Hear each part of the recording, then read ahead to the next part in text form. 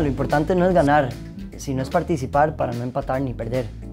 Este martes 21 de julio a las 8 de la noche por Teletica.